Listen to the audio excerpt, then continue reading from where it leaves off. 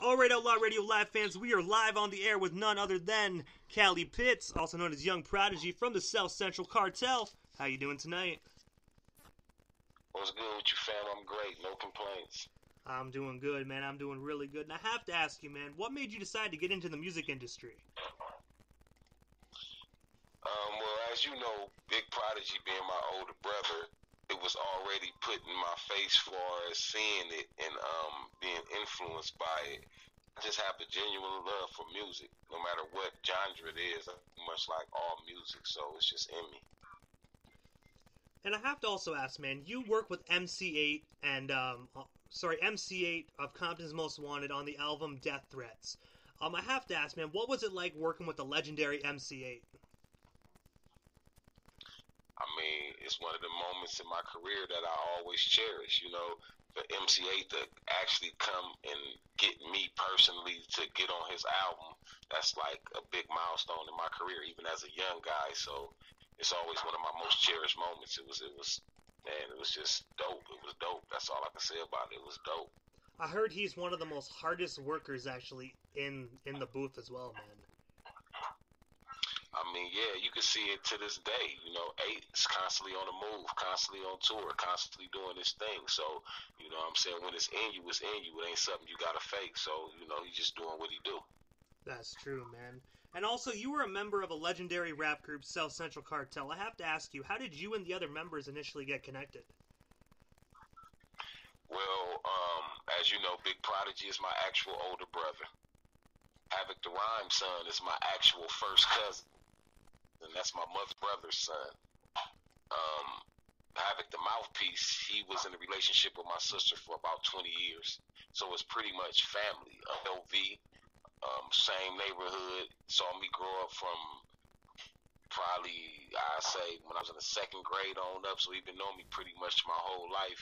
Kaos and Grip been knowing my family before I was even born, so everything about the South Central Cartel was family oriented. Oh, nice, man. That's what's up, man. So that's pretty cool. I never knew it was actually like a family. Before I started getting into this whole music industry, I figured it was like a rap, big rap group, man. So like I'm learning as I go along, man. That's that's extraordinary. Yeah, I mean, and like I say, some of us not, you know, actually related, but it's it's so the connection is goes so far back. It's like that's not my friend, that's my brother. You know what I mean? And you were also featured on the Def Jam soundtrack for the show and collaborating with like legendary artists, uh, the Dogg Pound and Ice T, among others. I have to ask you, what was it like doing that project, and how did that uh, record deal with Def Jam, Def Jam come to be for you guys? Well, for us, well, it's like this. If, if, if people know their history with the South Central Cartel, um, Young Prodeje wasn't originally supposed to be a member of South Central Cartel. I was always a solo artist that had my own situations going on. You know, I had my own solo deal on Def Jam. I had a, uh, another deal on Def Jam as the evil side with me and uh, my partner Scheme. Um, and I also, you know, had the South Central Cartel situation. What happened with that is that um,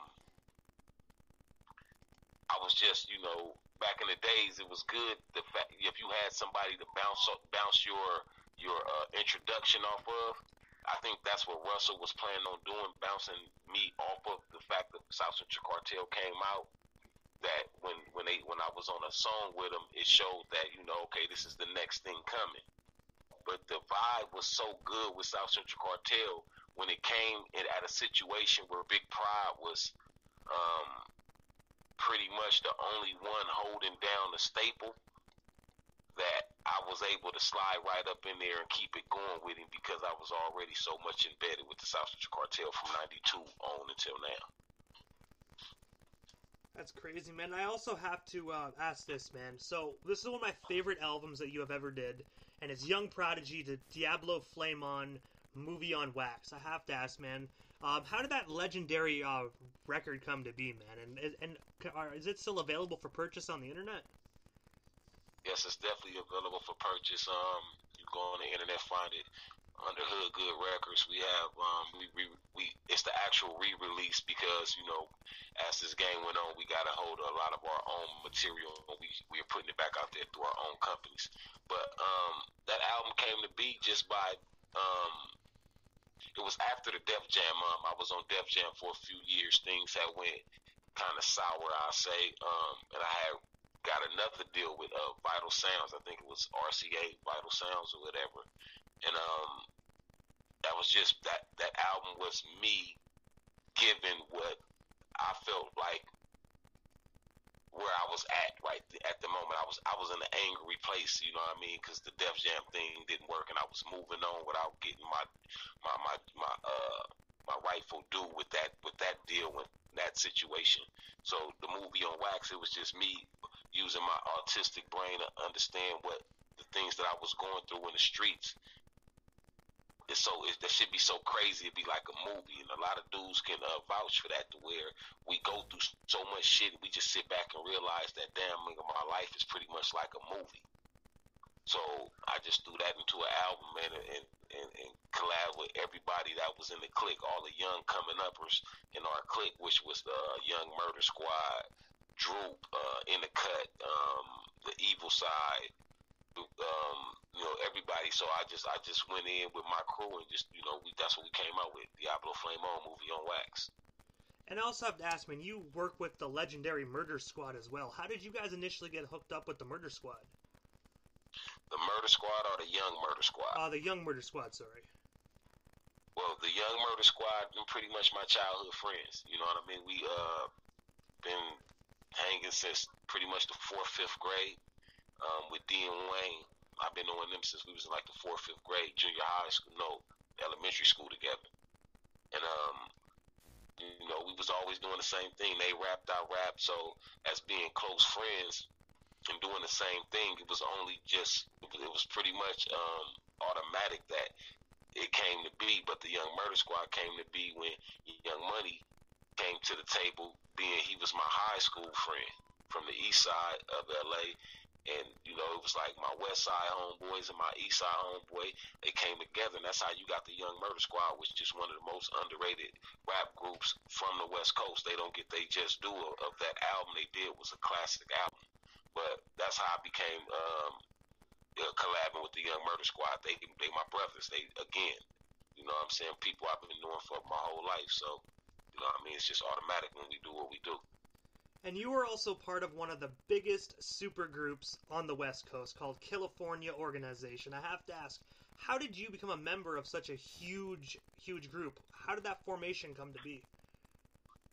See, it's like, honestly, I'm gonna be 100 with you. I ain't never heard of that in my life, bro.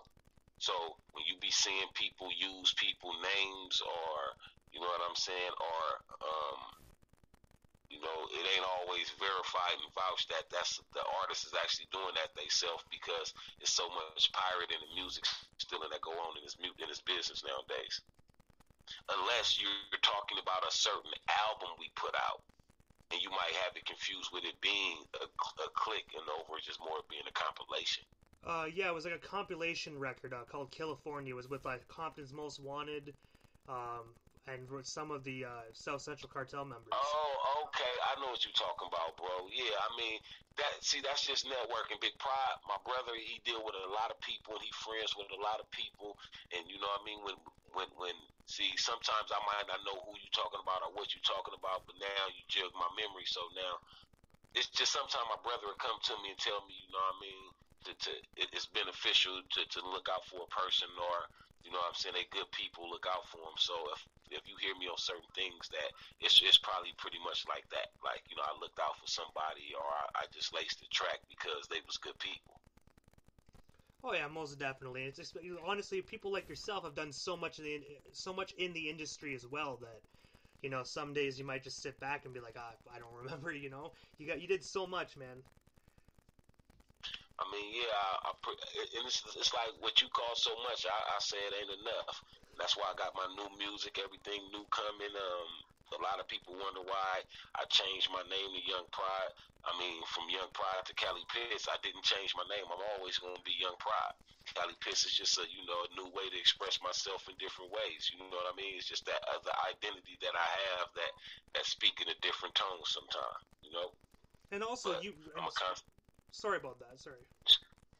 No, you can go. Okay, I was gonna say, and also speaking of like your new projects and whatnot as well, you also just recently got back from a tour of Japan. uh, called the Paper Run Tour. Man, I have to ask, what is what was Japan like versus North America, and how how did that tour go? I mean, the tour was lovely, man. We got a lot of footage online, man. A lot of our fans are still discussing that tour to this day. They still posting pictures and, and showing their appreciation for the South Central Cartel coming out there and putting it down. Man, like always, you know, that's not my first run to Japan, but Japan is a beautiful country, and, and, and I'm, I'm always blessed to go there. And any opportunity I have, you know, I, I take it. Actually, I'm going to be back out there in May. I'm actually doing a tour. Uh, with me, with Young Prodeje and the Young Murder Squad, we going out there and doing the Japan tour. So, you know, like I said, it's always a blessing when someone can uh, um, appreciate you enough to, you know, uh, you come down to their country, perform, and, and, and rock the stage, do what you love to do, do what you do, just like breathing. Like you know, when I do this music, it's like breathing, man. It's easy to me.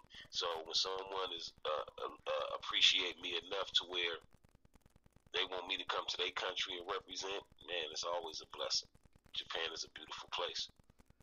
And also, March of last year, you were a part of Smoke One with Me Volume One with some with some tons of legendary individuals. I have to ask, what was that experience like, and where can our listeners buy or stream it?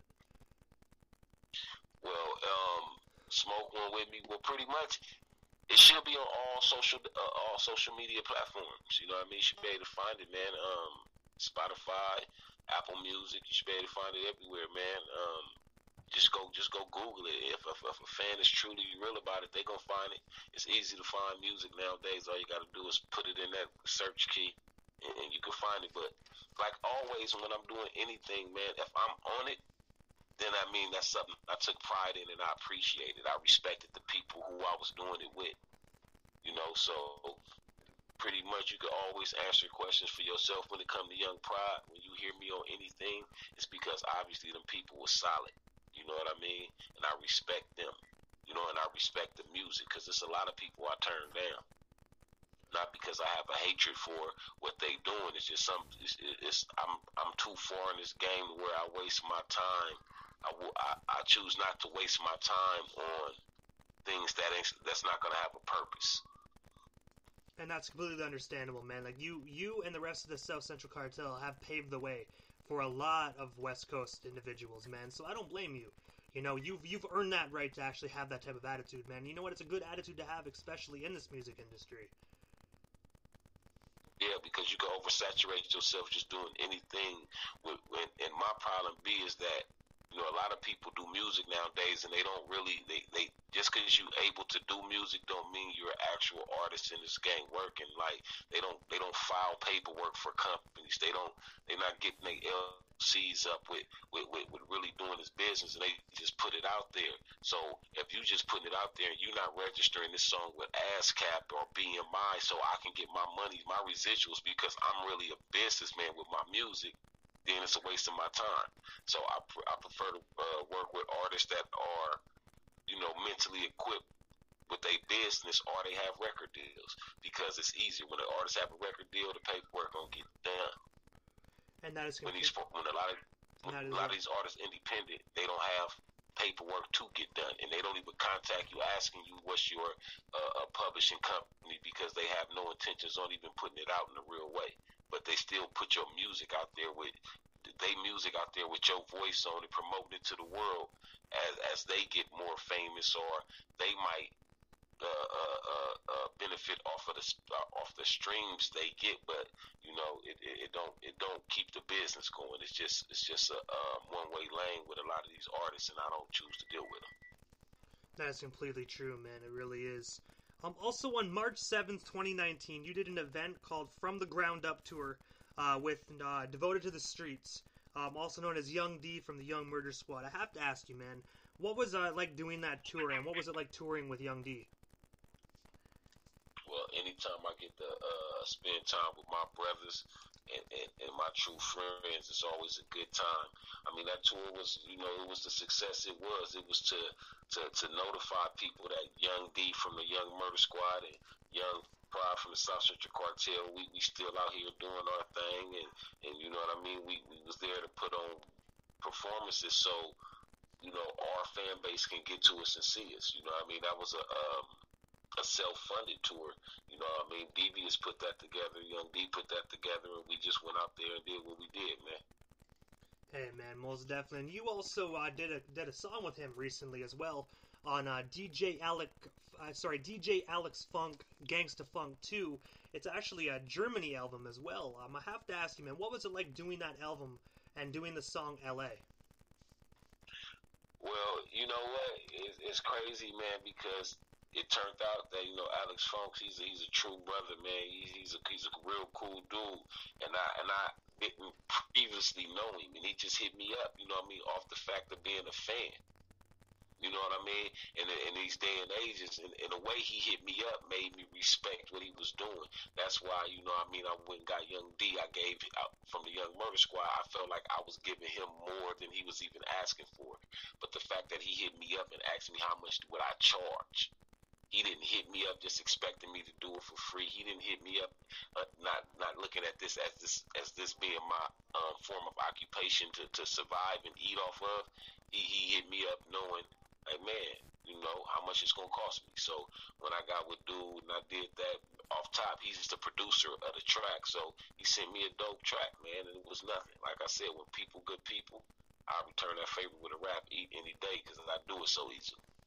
And you know that is love, man. You know what I mean. Not a lot of people really actually would be like, "How much you charge?" They expect some free stuff nowadays, man. So just by the sounds of that, he sounds like a really cool and also most definitely a real individual. I mean, for one, like I said, at least he understand he's in the business and not a game. You know, I don't call it the rap game. I call it the rap business. You know, it's the music business for me, not the music game. Or you know what I mean? Because if you put it, if you calling it a game, that's how you gonna handle your business like a game.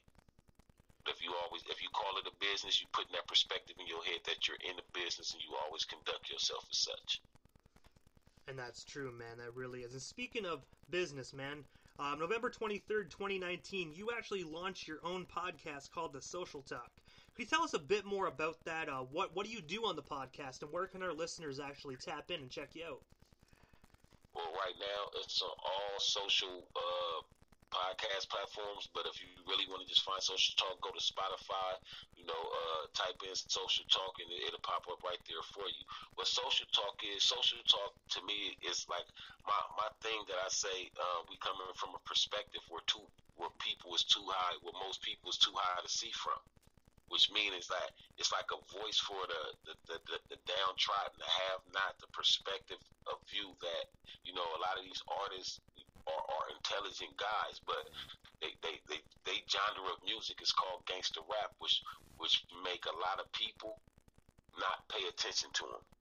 And if you can give some of these intelligent dudes the platform to just speak in conversation, we can learn so much from them. So I started the podcast just for that point in itself for independent artists, for for um, ex gang members, um, small business owners, whoever need a voice to just speak their intelligence out to the world to to try to change the perspective. You know what I mean? Because people have too many perspective on oh he gangster rap or he from L.A. or you know it, it's it's it's such a bad um, judgment, you know. So I, I just wanted to give something where people can just speak out real. And I asked them about politics, things that you know most rappers don't get asked, especially um, underground rappers. They don't get asked things about politics or what kind of um, charities that they are into or what's their mission beyond just rapping. And if they did get rich, what kind of uh, things they're they're going to do with the finances that you know they fans gave to them. And you, you know, know I mean? That actually just, sounds like a really good platform, man. I think most definitely that everybody should tap into that, man. I actually like the sounds of that. Yeah, I mean, for one, like I say, uh, if, if, if if we want to save the game that we in, that we do, this entertainment, you know, or we want to make sure it got real substance to it, then it's on us to bring it.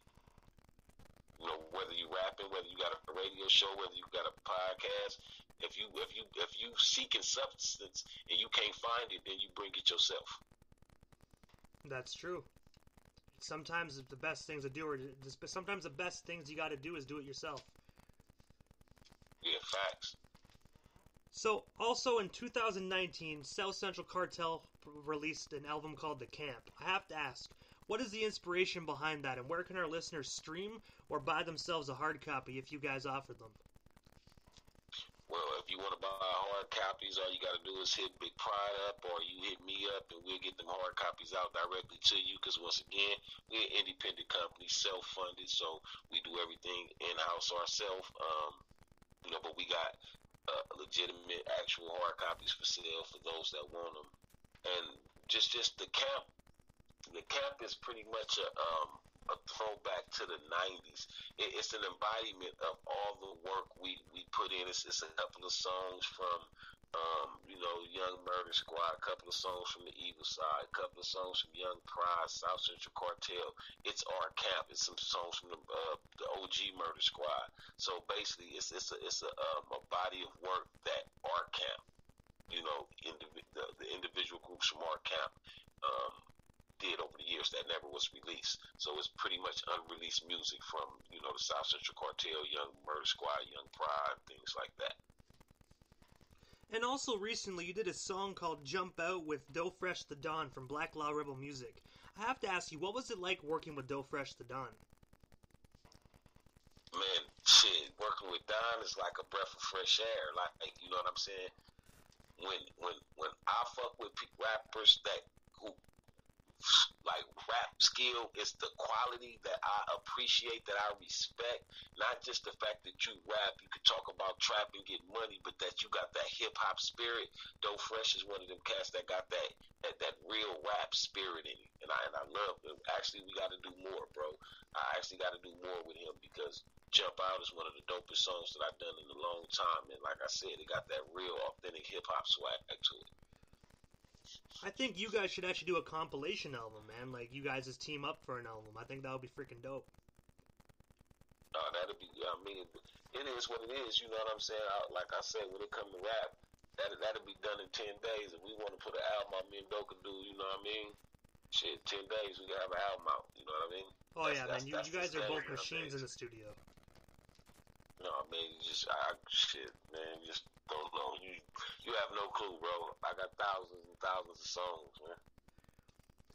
And I also have to ask you, man, um, what's next for Cali Pitts? Um, any new shows, any new albums, anything you want to let our listeners know about? Well, like I said, I'm about to go back to Japan to do a tour um, in May. Um, I'm working on an adults. Uh, um, how would I explain this?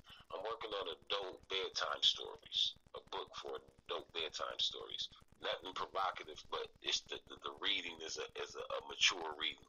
You know what I mean? So I'm working on a new album that we're about to be dropping soon. As soon as we launch the Prodigy project that me and Big Prod just did together, we're going to be launching that, and the first single off that will be Good Times. Um, but after that, we'll be dropping the Cali Pitts album. We'll be dropping the Young Prod album. We'll be uh, getting my book published and put out there. Um, you know, try to get some of these movies out right, man. Some of these sitcoms I done created, man. Try to get something on TV. That's my plan for 2020, man. Try to get some of these um, visuals that I create on TV or on the big screen. Hey, man, you know what? It sounds like 2020 is most definitely Young Prodeje's year. I mean, yeah, I'm, I'm going to take it. You know, I'm going to make it my year. So I have to ask you, Cali, this is the time in the interview that I give the individual that comes on my show a chance to give shoutouts to whomever they want to give shoutouts to, and also their social media handles. That way our listeners can follow you in your journey if they're not already doing so. All right, y'all. I want to give a little advice before, you know, I say this, and it might be a little, you know, backwards, but people get off social media Get the fuck off social media. Get outside. Go to some concerts. Go buy some CDs. Put them in your car. Get on the highway and listen to real music in the real world. Get to the real world. But if you want to find me, just Google me. Google Cali Pitts. Google Young Prod, and you're gonna come up with all my social media. Simple as that. Hey man, you know what? That's some great advice. Honestly, I agree with that 110. percent And and far as uh, shout outs, my people know who they are. The people I love know who they are. I don't really figure I got, feel like I I gotta shout nobody out that you know I mean that don't already know. So you know everybody stay safe. That's what I do want to say. Hey, I want to say, Cali, thank you so much for coming up on Outlaw Radio Live, man. I've been a fan of yours and the South Central Cartel for a very long time, so it's an absolute honor to be able to have you on my show. Thank you so much for coming up on the show, man. You most definitely have yourself a wonderful rest of your week. You too, bro, and no problem, man. Cartel represent for the real. Hey, man, most definitely, man. You have yourself a wonderful night. All right, bless.